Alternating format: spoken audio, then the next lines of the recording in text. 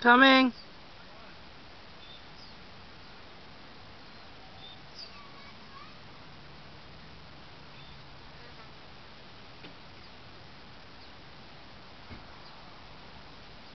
Are you two done fighting?